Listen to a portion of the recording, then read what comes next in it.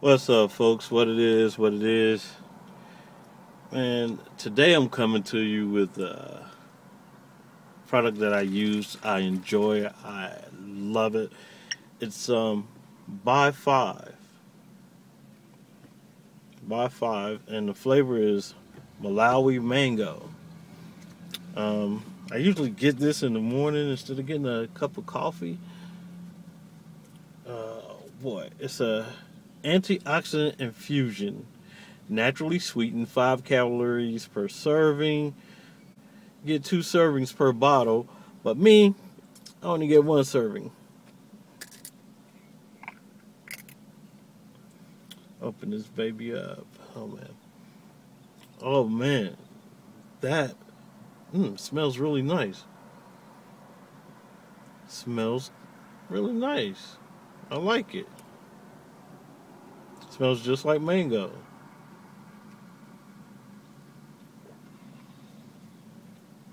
Ah.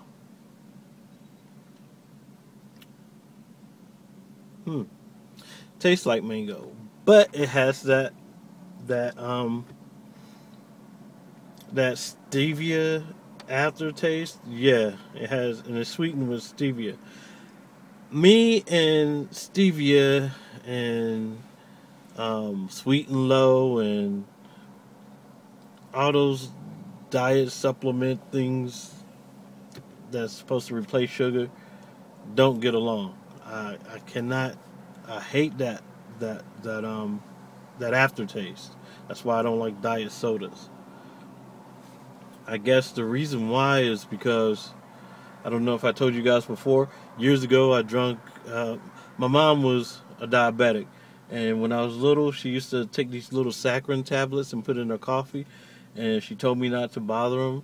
You know, that was her medicine. I was a little kid at the time, so I took and um, I took the bottle and I hid in my closet and ate the entire thing. And I can't, to this day, I can't stand a diet soda or that that aftertaste. Oh my goodness. But anyway, um, yeah, Bai five. I feel like I'm doing a freaking commercial. Bai five.